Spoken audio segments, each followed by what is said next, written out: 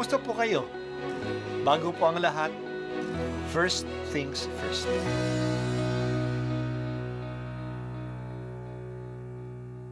Good morning po. Sinisimulan po natin ngayon ang first things first. At dito po, tinatalakay natin sa unang bahagi ng umaga natin ay ang first readings na binabasa po sa banal na misa. Ito pong tinatalakay natin kasi madalas po kasi marami na tayong alam tungkol sa gospel readings. Pero konti po ang nagsasalita sa first readings. Pero ang first readings, bahagi din po yan ng Biblia, ng banal na kasulatan. Kaya susubaybayan po natin ang mga first readings, basahin po natin at kuminsan kailangan ng basahin ng dalawa o tatlong beses bago maintindihan kasi hindi po tayo sa familiar sa mga istorya at sa mga kaisipan na tinatalakay dito. Ang pagbasa mula sa aklat ni Propeta Isayas Makinig kayo mga taong naninirahan sa malalayong lugar. Pinili na ako ng Panginoon bago pa isilang at hinirang niya ako para siya'y paglingkuran. Mga salita ko'y ginawa niyang sintalas ng tabak. Siya ang sa akin laging nag-iingat. Ginawa niya akong parang matulis na palaso at anumang oras ay handang itudla. Sinabi niya sa akin, Israel, ikaw ay lingkod ko. Sa pamamagitan mo, ako'y dadakilain ng mga tao. Ngunit ang tugon ko, ako ay nabigo sa aking pagsisikap. Hindi nagtagumpay. Gayong ibinuhos ko ang aking lakas. Gayon may itinitiwala ko sa Panginoon ang aking kalagayan na ako'y gagantimpalaan sa aking nakayanan. Bago pa ako ipanganak, ay hinirang na ng Panginoon. Pinili niya ako para maging lingkod niya upang tipunin ang nangalat na mga Israelita at sila'y ibalik sa bayang Israel. Binigyan ako ng Panginoon ng karangalan, sa Kanya nagbubuhat ang aking karangalan. Sinabi ng Panginoon sa akin, Israel na aking lingkod, may mas mahalaga pa akong ipagagawa sa iyo Bukod sa pagpapanumbalik sa mga Israelitang nalabi, ay gagawin kitang tanglaw ng mga bansa upang lahat sa daigdig ay maligtas. Ang salita ng Diyos. Salamat sa Diyos. Ipinagdiriwang natin ngayong araw ang kapistahan ng kapanganakan ni Juan Bautista. Ito ay dapat bukas pa, June 23, June 24. Ngunit ngayong taon, inilipat natin sa araw na ito. Kasi bukas, ang ikatlong biyernes ng Hunyo ay ang kapistahan ng kamalmahalang puso ni Jesus. Tatabi muna si Juan Bautista para kay Jesus. Yan naman talaga ang papel ni Juan Bautista. Nabigyang daan si Jesus.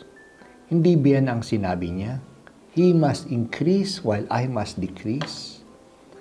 Ilang beses niya sinabi na hindi siya ang inaasahan nilang Mesiyas.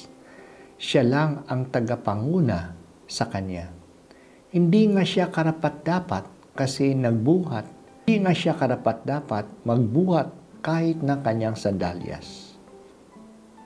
Ah, ang ating unang pagbasa ay galing sa kauna-unahang pagpapahig ni San Pablo na recorded sa aklat ng gawa ng mga apostol ito ay nangyari sa Antioquia sa probinsya ng Pisidia. Sa pahayag na ito sa sinagoga, doon tinalakay ni Pablo ang kanyang ang kasaysayan ng kanyang bayang Israel mula kay Abraham. Pagdating niya sa kwento ni David, tumalon siya sa kwento ni Jesus. Si Jesus ay galing sa lipi ni David. Siya ang katuparan ng mga pangako ng Diyos sa mga ninuno. Ang pagdating ni Jesus ay pinangunahan ni Juan Bautista.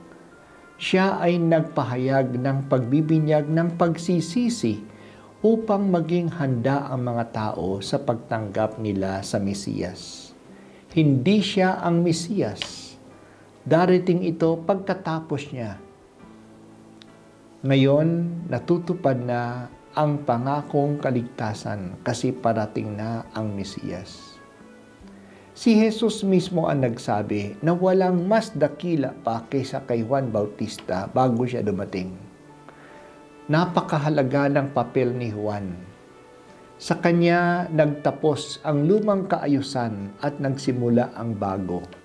Siya ang nagpakilala ng katuparan ng kaligtasan na walang iba kundi si Jesus. Ang kanyang kamana kapanganakan ay pauna na sa isang mas dakilang kapanganakan. Kaya anim na buwan na lang ay Pasko na naman. Nag-birthday na si Juan. Magbe-birthday na rin si Jesus. Ang kanyang pagsilang ay ang bukang liwayway ng liwanag ng kaligtasan. Madilim-dilim pa, pero nagbubukang liwayway na. Mahalaga na pakinggan natin ang kanyang mensahe ng pagsisisi hindi naman natin matatanggap ang magandang balita kung hindi tayo nagsisisi. Kaya ito rin ang pahayag ni Jesus. Magsisi kayo at sa magandang balita ay manampalataya. Ang pagsisisi ay kondisyo sine qua non sa pagtanggap ng kaligtasan. Ang ibig sabihin ng kondisyo sine qua non ay hindi mapapaliban na kondisyon kailangan mo nang itapon at linisin ang laman ng baso bago ito malalagyan ng bago at matamis na alak. Ang buhay natin ay dapat munang linisin upang si Jesus ay matanggap. Pakinggan natin ang panawagan ni Juan Bautista. Ito po ang unang pagbasa at ako po ay si Bishop Broderick Pabilio dito sa First Things First.